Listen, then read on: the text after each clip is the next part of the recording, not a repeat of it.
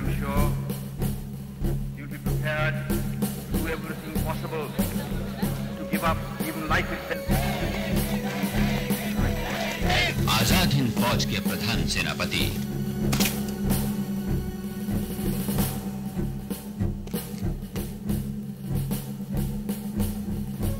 commander Sardul Singh Sethi commander Balwinder Singh